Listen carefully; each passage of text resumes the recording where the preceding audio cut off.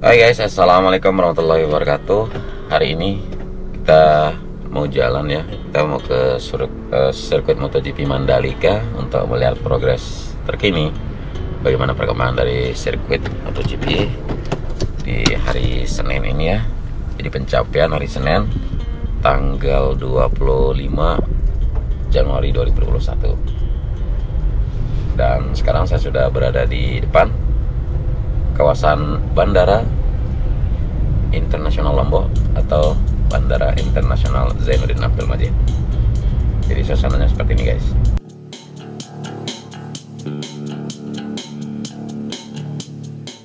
Ini masih ada antrian deretan untuk truk dam yang atau dam truk yang membawa material untuk pengerjaan dari bypass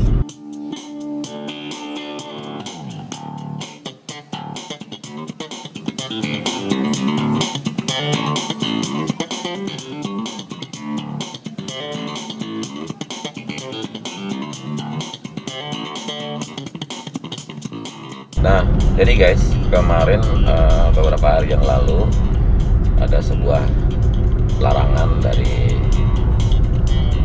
untuk meliput sirkuit MotoGP Mandalika ya. Ini larangan langsung dari pihak uh, penyelenggara ya. Jadi di sini ada ITDC, ada MGPA. Nah, larangan itu ada dua macam. Pertama, dilarang masuk tanpa izin selain kendaraan proyek atau warga penghuni. Jadi di situ ada izin bagi kendaraan proyek sama warga yang masih menghuni kawasan di dalam zona sirkuit. Kemudian larangan yang kedua dilarang menerbangkan drone ya tanpa izin dari pihak MGPA atau ITDC.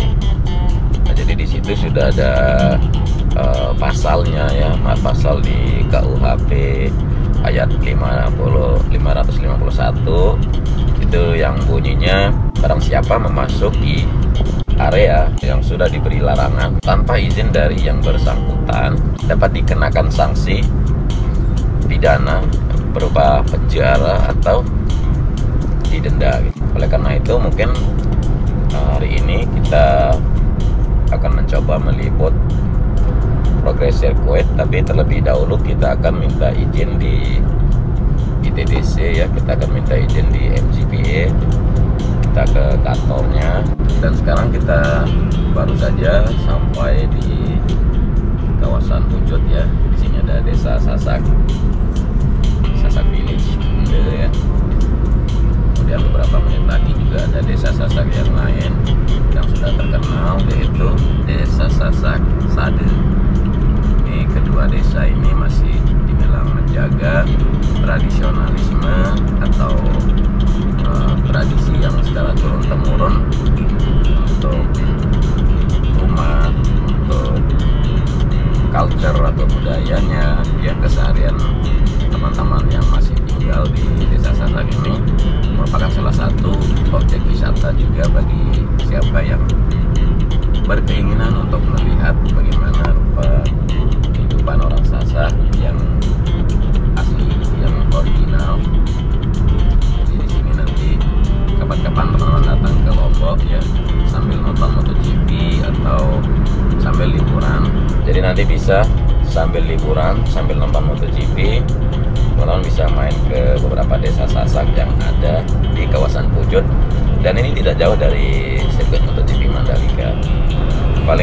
hanya 10, 10 menit atau sekitar 12 menit perjalanan ya.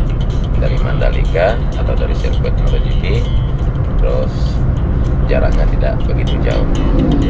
Tempatnya menarik dan bisa menambah wawasan kita semua bagaimana sejarahnya orang Sasak dahulu bagaimana corak khasnya bagaimana tradisinya baik itu dari rumah-rumah adat kemudian uh, kostum pakaiannya juga. Dan keseharian hidup kehidupan keseharian itu bisa juga dilihat uh, ya secara langsung oleh para pengunjung dan terbuka setiap hari. Setiap hari dibuka dari pagi sampai sore bahkan kadang uh, lewati sore masih bisa dikunjungi dan teman-teman bisa melihat bagaimana nuansa yang ada di desa Sasak ya baik itu desa Sasak Ende maupun desa Sasak di Sadil.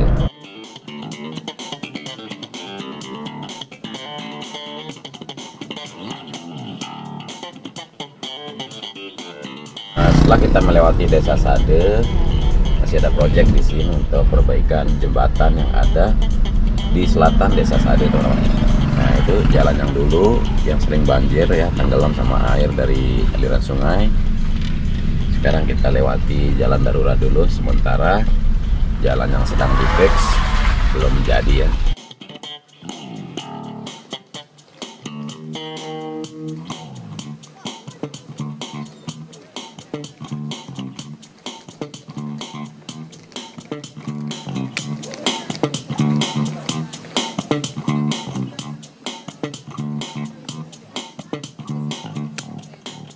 Nah, jadi di depan sini adalah jembatan yang dulunya diperbaiki ya. Sekarang udah diperbaiki ya. Dulu masih setinggi lumpur di bawah sini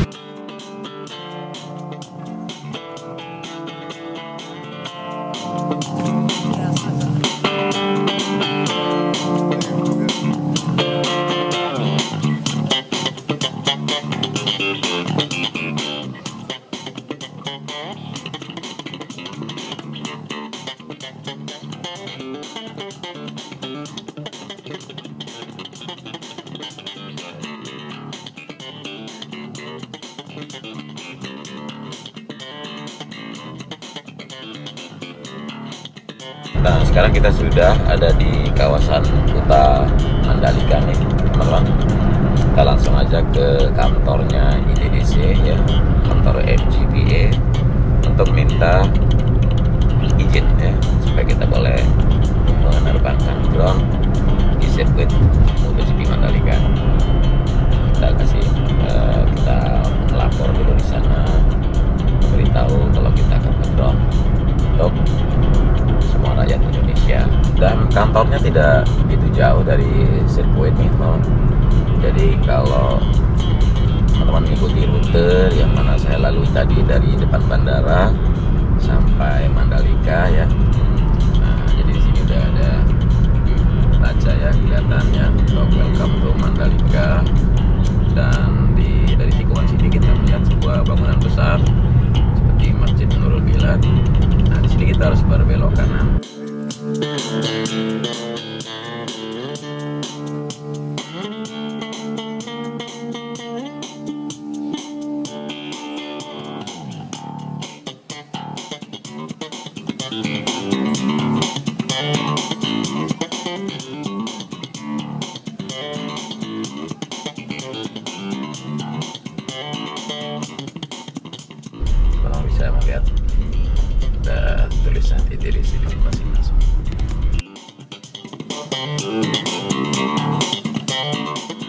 Oke guys, sekarang ya jadi barusan udah saya minta izin di ITDC di MGPA untuk melakukan reportase progres perkembangan terkini dari sirkuit MotoGP Mandalika dan sekarang saya sudah keluar dari Masjid Nurul Bilad di mana kantor ITDC atau MGPA berada.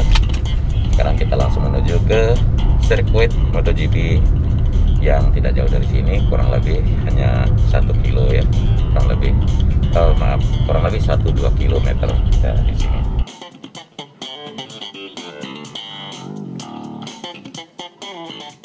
Dan kita akan sama-sama melihat bagaimana progres atau bagaimana pencapaian hari ini dari pengerjaan sirkuit MotoGP Mandalika. Dan ya langsung saja saya menuju ke lokasi sirkuit ya. Teman-teman kita akan sama-sama nerbangin kamera udara di sana. Oke guys sekarang kita ya saya sudah ada di samping dari sirkuit MotoGP Mandalika. Dan kita langsung aja ya untuk siap-siap untuk nerbangin kamera udara untuk mantau bersama. Jadi seperti biasa ada Mavic 2 zoom ada remote control ada monitor oke jadi kita langsung siapin aja ya untuk pantauan sore ini ya seperti apa pencapaian hari ini dari progres sirkuit MotoGP Mandalika. Jadi sekarang saya sudah siapin monitor di sini sama remote control ya. Sudah siap semua. Oke, kita connect dulu. Kita sambung dulu monitornya dengan remote control. Ya, monitor cuman handphone aja. Terus sekarang ya setelah kita pastikan baterai baterai ada penuh ya memory card sudah kita pastikan ada nah ini kita hidupin terus kan kita hidupin jadi sudah hidup ya. Nah, kita tunggu suara. Nah suaranya bagus ya. DJI ya. Terolet gitu dan sekarang saya akan langsung aja ya. Kita terbangin ke udara. Melihat sama-sama bagaimana progres terkini. Jadi karena ya kondisi masih belum sembuh ya teman-teman. Saya masih dilarang untuk mencoba berdiri atau jalan kaki jadi sampai sekarang belum saya buat kamera darat apa video darat buat kalian semua saya hanya bisa pantau dengan kamera udara dan ini pun saya duduk dari dalam mobil ya. Oke, sudah kedengeran suaranya. Kalau drone-nya siap diterbangin. Oke, bismillahirrahmanirrahim. Kita langsung aja mulai.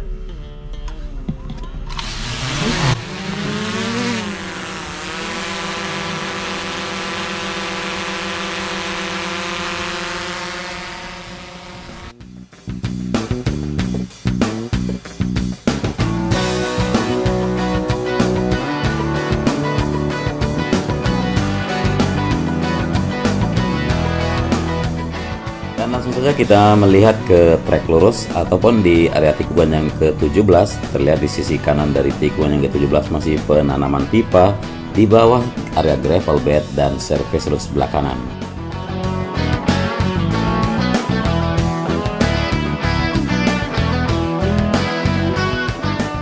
Sepanjang track lane yang ada di trek lurus, terutama sisi tengah dan sisi kanan dari track lane sudah di prime coat sedangkan sebelah kiri dari track lane belum dilapisi plain coat. Lapisan plain coat sampai hampir menuju ke tunnel 1 atau terowongan yang pertama yang berada di bawah trek lurus sepanjang 700 meter.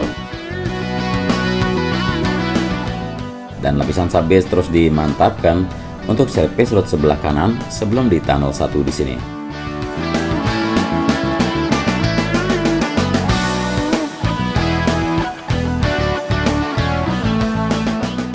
Di atas tanggal 1, selain pengecoran dan juga ada lapisan subbase lagi setebal 20 cm. Seperti yang kita lihat, sebuah alat berat yang sedang memadatkan subbase yang dihamparkan di atas tunnel 1 di sini.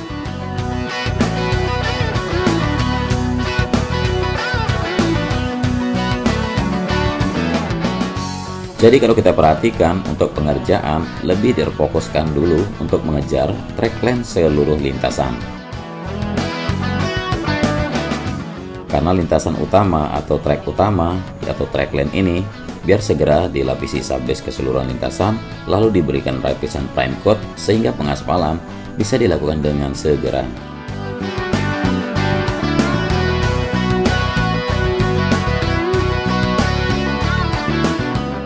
Kita menuju tikungan yang pertama yang berada di depan kita di sini.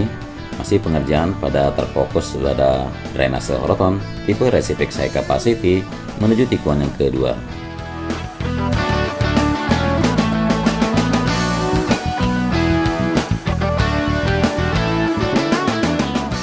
Tikungan yang pertama berbelok kanan menuju tikungan yang kedua seperti yang terlihat jelas dan bukit-bukit Pink Hill yang ada di kiri dari trek di sini masih kehijau-hijauan dan asri.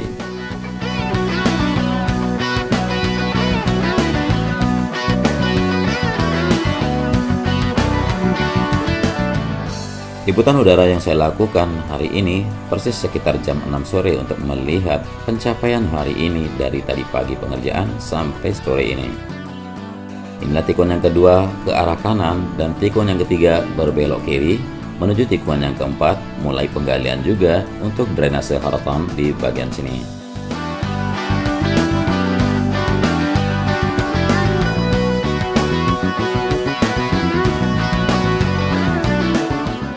dan inilah service road sebelah kanan di tikungan yang ketiga juga masih melakukan pemantapan untuk pembuatan tanggul dan juga hamparan subgrade juga sudah dituntaskan tinggal menunggu hamparan subbase lalu di plan code dan trial pengaspalannya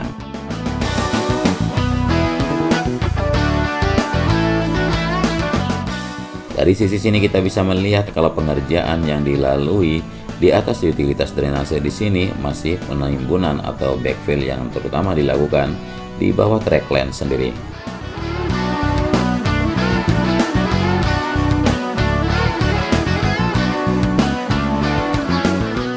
Kita bisa perhatikan di sisi kiri dari utilitas yang dilalui track sendiri sudah di backfill dan dipadatkan kemudian sekarang di sisi kanan dan akan dilakukan keseluruhan dari sepanjang dari utilitas drainase dari bawah bukit di sebelah kiri sampai ke service sebelah kanan di tikungan yang keempat. Menuju tikungan yang kelima dari tikungan yang keempat, seperti yang kita lihat bersama di sini, pengerjaan drainase rotan reciprocal capacity terus dilakukan hampir melewati STA 1 plus 300 dan di sisi kiri juga persiapan drainase untuk di samping kiri service road sebelah kiri.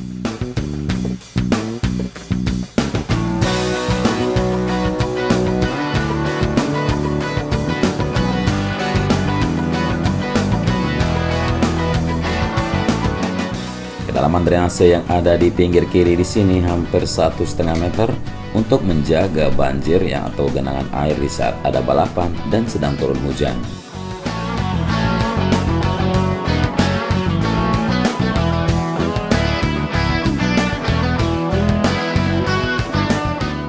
Jadi pengerjaan sirkuit bukan saja pembuatan lintasan utama atau trek utama, tetapi ada sepanjang gravel, sepanjang trek service road kiri dan kanan, lalu sepanjang drainase yang ada di sebelah kiri dan di sisi kanan trek.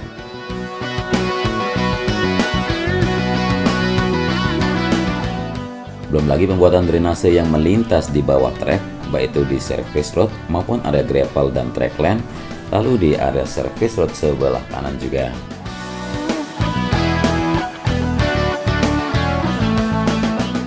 Jadi sirkuit bukan hanya sebuah lintasan utama untuk jalur balapan, tetapi Mandalika memiliki area seperti service road sebelah kiri dan service road sebelah kanan. Begitu juga dengan gravel dan sisi kiri dan kanan ada drainase. Jadi bisa dikalkulasikan drainase yang ada di kiri kanan hampir sepanjang 8 km lebih dan juga service road kiri dan kanan juga hampir 8 km lebih.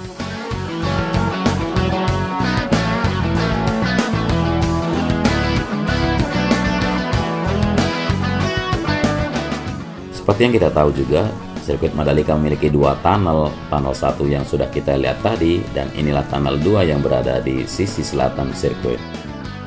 Pengerjaan untuk tunnel 2 seperti yang kita lihat bersama, penghamparan sabes sudah dilakukan di atas tunnel sendiri, yang mana akan dilalui oleh track lane, sekaligus juga penimbunan di sisi kiri dan di sisi kanan terus dilakukan sampai mengejar tinggi tunnel, kemudian akan dilapisi subbase dan subgrade Begitu juga dengan prime coat dan akan melakukan pengaspalan untuk setiap trek kecuali di area gravel bed.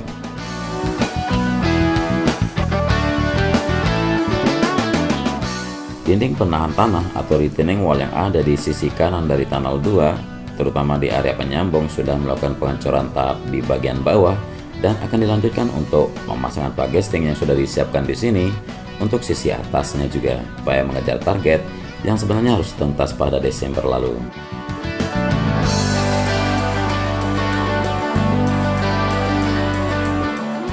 Kita bisa melihat pengerjaan di tikungan yang ke-9 dari sisi sini, yaitu sudah terlihat hampir begitu signifikan, baik itu service road sebelah kiri, track lane, area gravel bed, dan area run of aspal dan service roadnya.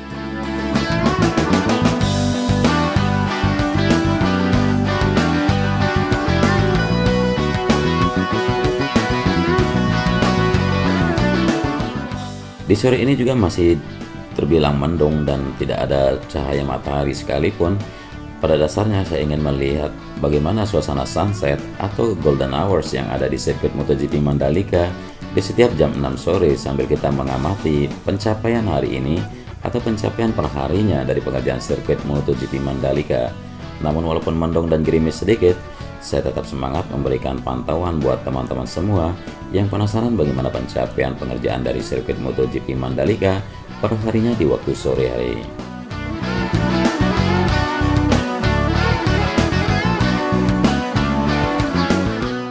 Dan inilah tikungan yang ke-10, kita melihat ke sisi kiri dari tikungan 10, pengerjaan masih difokuskan pada service road sebelah kiri yang paling pinggir dari zona di sini, kemudian di area tengah yang merupakan area gravel bed, terus dilakukan pemadatan dan penyempurnaan dari tinggi area gravel bed di sini.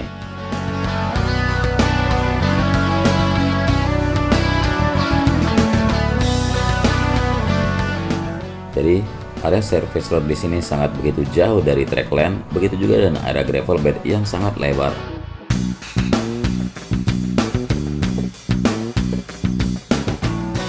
Area gravel bed di tikungan yang ke-10 bisa dibilang area gravel bed yang paling lebar atau yang paling luas. Kurang lebih panjangnya atau jaraknya dari track lane sekitar 180 meter.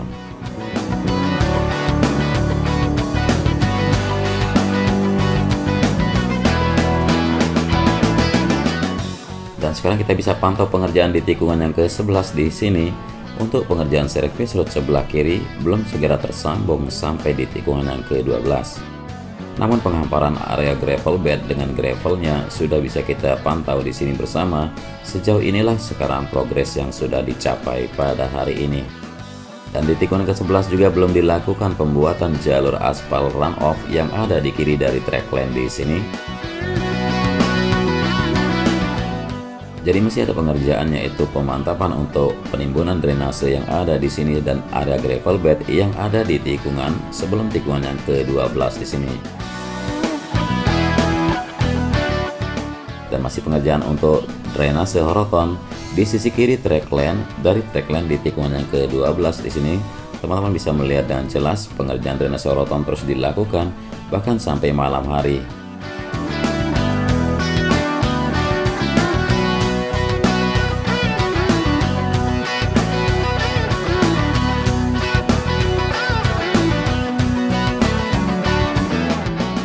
Kita terbang diagonal dari tikungan yang ke-12 menuju tikungan yang ke-13 di sini kita melihat pengerjaan backfill maupun penimbunan di atas drainase pengganti sungai sudah terlihat makin meninggi atau makin menebal dan hampir mengejar untuk tinggi level track yang ada di sisi sini baik itu track service road maupun track lane.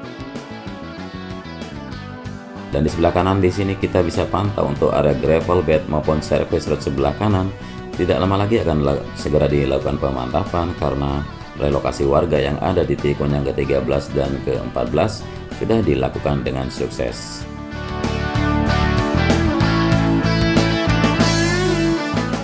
Sekarang saya menunjukkan ke teman-teman bagaimana suasana atau kondisi dari area di mana warga terat yang tinggal kemarin di sini di sepanjang tikungan yang ke-13 menuju tikungan yang ke-14 dan sudah tidak ada lagi warga yang tinggal di sini kecuali di sisi selatan dari zona tengah sirkuit MotoGP Mandalika.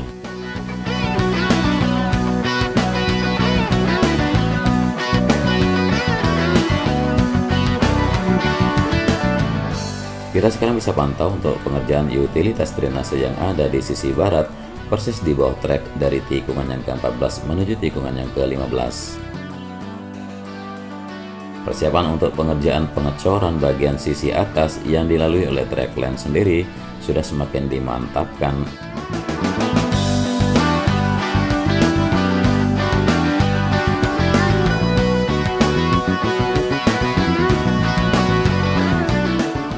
Drainase di sini seperti yang pernah kita kupas akan membentang dari sisi service road sebelah kiri sampai menembus ke service road sebelah kanan. Dan inilah suasana di tikungan yang ke-15. Pengerjaan masih dilakukan untuk penyempurnaan dari area gravel bed yang ada di sisi kiri dari track lane. Sedangkan di sisi kanan dari track lane sendiri masih penanaman drainase horoton sepanjang tikungan yang ke-15 sampai menuju tikungan yang ke-17.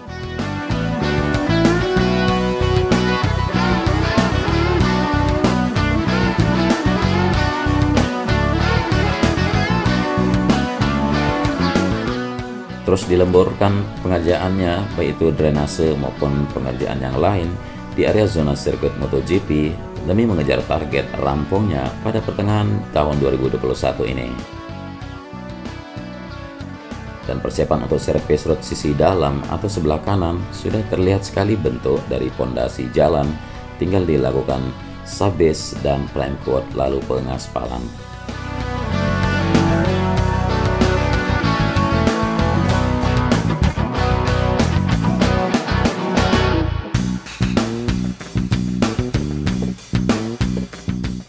Kita sudah berbelok kanan di tikungan yang ke-16. Pengerjaan di sini tersisa yaitu penghamparan subbase atau pemadatan area di mana genangan air yang ada sebelum di tikungan yang ke-17.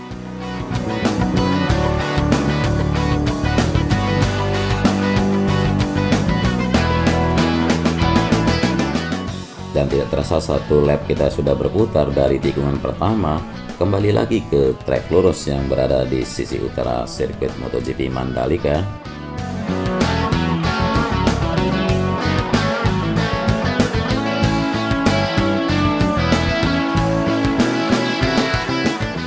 Beginilah reportase yang bisa saya bagikan ke teman-teman semua dari sirkuit MotoGP Mandalika langsung pada hari Senin tanggal 25 Januari 2021.